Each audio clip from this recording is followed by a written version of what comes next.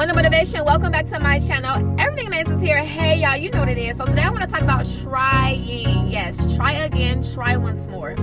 Try it differently. Try again tomorrow. Try and ask for help. Try to find someone that's already done it. Try to fix the problem. Try a new strategy. Keep trying until you succeed. It's about to be 2020. It is go time or you will get left behind. The power of perseverance can't be underestimated. The most successful people are constantly trying. Try on this fabulous Monday.